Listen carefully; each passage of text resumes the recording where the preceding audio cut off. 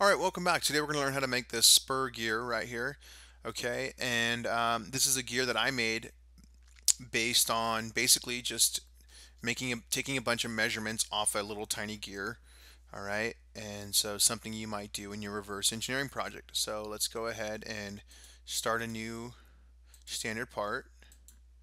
Okay, and start a 2D sketch.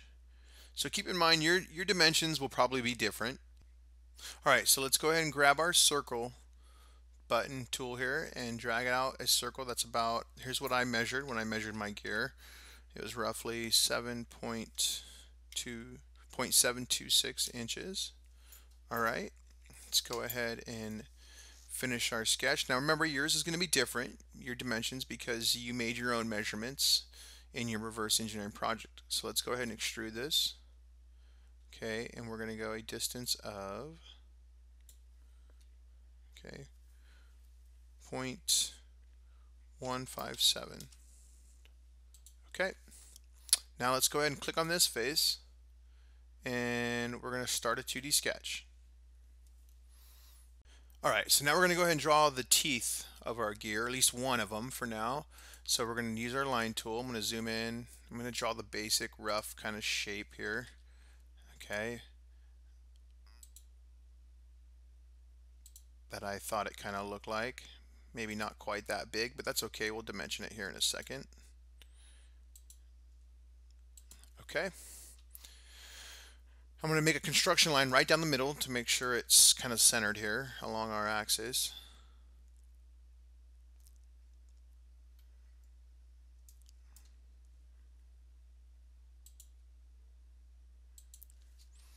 All right. And this all right, so when I measured this part right here, I got a distance, a length of 0.012 with my calipers. So I'm going to divide that by 2 though, because I want to go from here to here. So 0.012 divided by 2. And then from this side to this side, same thing, 0.012 divided by 2. All right, now let's see the bottom part. And when I measured this total length, I got a length of 0.4, okay? So, excuse me, 0.04.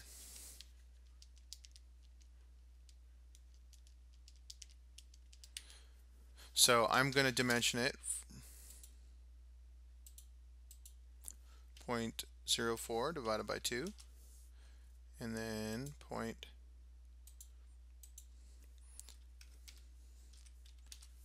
okay now when you look at your tooth here okay or on your gear it might not be fully constrained. So we also got to assign it a height here. But uh, when I gave it a height okay I made a measurement of about,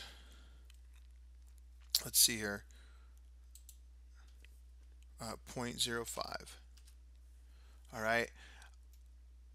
And if you want to stop now, that's fine. Uh, I noticed that the teeth on my particular gear are a little more rounded. Okay, so we're going to change this to make it reflect uh, the more natural shape of the tooth of the gear. So I'm going to delete that, delete that.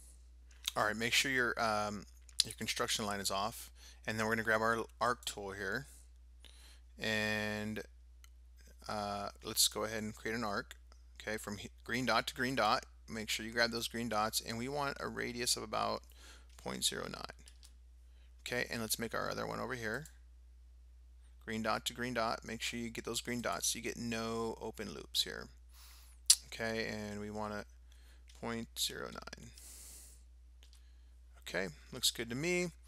And the last thing we're going to do, just to kind of give it a little bit more roundish appearance here, we're going to add a fillet of about 0.005 here, right here. Okay, it looks good. Now we're going to finish our sketch.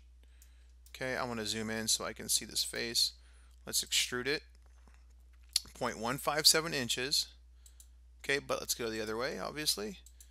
And there we go. There's one tooth. Now the nice thing is, Autodesk will do the rest. So go to your circular tool. Okay, it's asking you to select the feature. That's the feature we want to um, uh, we want to make a pattern of, and then it's asking us for an axis. So we click here, and we're going to identify this circle as our rotational axis. And it, by default, it puts in six. But I counted them. I got 39 when I counted those teeth on their gear here. Okay, so there we go. It's starting to look more like a gear now. All right, so now let's go ahead and click on there and make a start a 2D sketch here.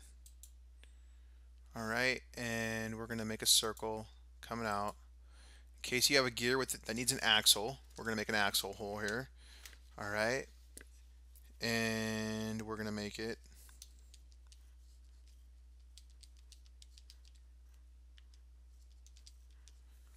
Point two six diameter. All right. Go ahead and finish our sketch. Extrude it through the other way. 0.157. Okay, and there's our axle hole. All right, so we're going to modify our axis hole now. Let's click on that face again, start a 2D sketch, project geometry. So we want this circle right here. We're going to offset it. Okay, a distance of 0.05 inches. We are going to finish our sketch and extrude that a distance of 0.2 inches out from the gear here. Okay, hit OK.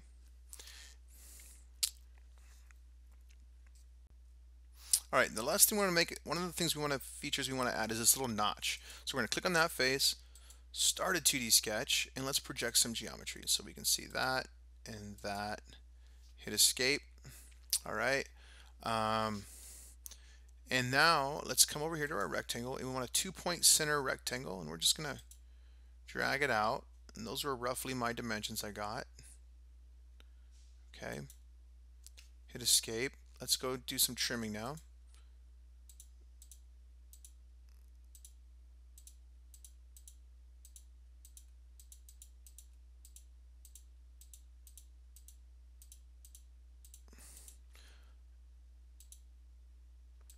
Okay, let's go ahead and finish our sketch.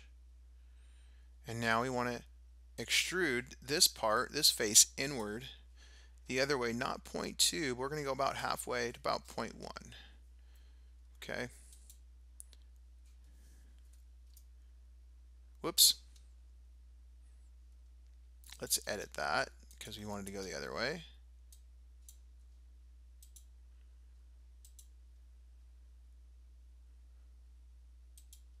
Well, let's just delete it and try.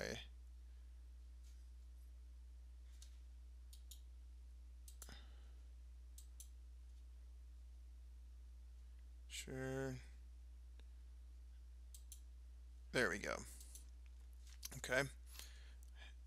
And there's our little groove or notch that we need to make so our axle can apply torque to our gear here. All right. And then finally, you may encounter a gear situation with a little Allen screw hole. And if that's the case, okay, what you need to do is come over here to plane and you want to select a plane tangent to the surface through the edges. Okay, so if you come over here, just select a plane right around there. Okay, hit escape. And we come over to this work plane, let's make a new sketch on that work plane and we're going to turn it around here. Okay. Okay, I'm going to move it around slightly so I can kind of see where things are, the surface of the gear here. All right, so I'm going to create a just a construction line for reference purposes only. From here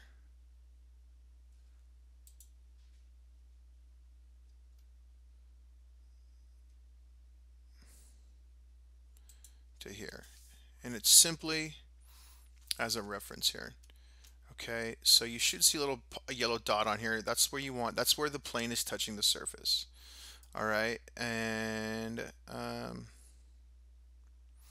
let's project some geometry. I just want to use that. Now I'm going to put a point right on that line. Okay, hit escape. And I want to just delete that construction line now and I'm going to dimension it halfway here. Okay, which I believe would have been 0.1. Right, Okay, and now let's finish our sketch here. And come up here to hole.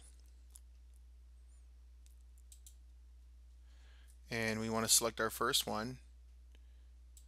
We want threaded here. And we're going to do a length of about I believe not 0.047 uh, about let's see here right there. Okay class 2b that looks good. Okay and we want it to go all the way through. So we want it to go not too far but so I believe we want about 0.05 and then hit OK let's take that work plane visibility off. Okay. And it looks good. Okay we got our notch and we got our drill hole. The last thing you should probably do is give it a nice, okay, steel polish. Your gear might be plastic, so you want to assign it a material. In this case, mine was steel, probably iron. Okay, and there you go. All right. Thanks for watching. We'll see you next time.